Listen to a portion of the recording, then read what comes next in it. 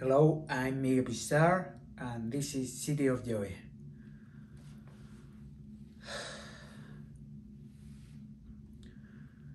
When I was a child, I walked in my father with another woman.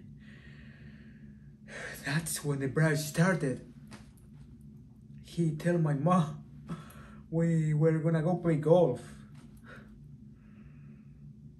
I, I love looking around that golf cart for him.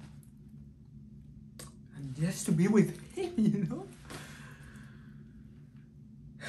Then we stopped going to the golf course and see her instead. He kept a, a stock of candy bars in the glove compartment and he said, Don't tell your pa, cause this is just between us men, okay?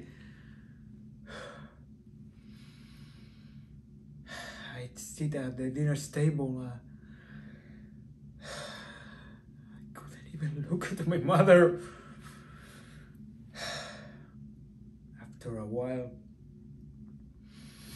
I couldn't eat the candy bars anymore, so I just stuck them in my drawer.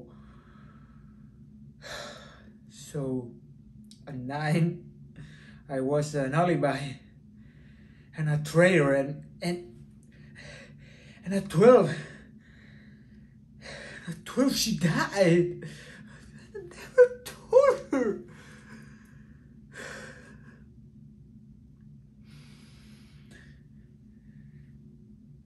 After that, you know,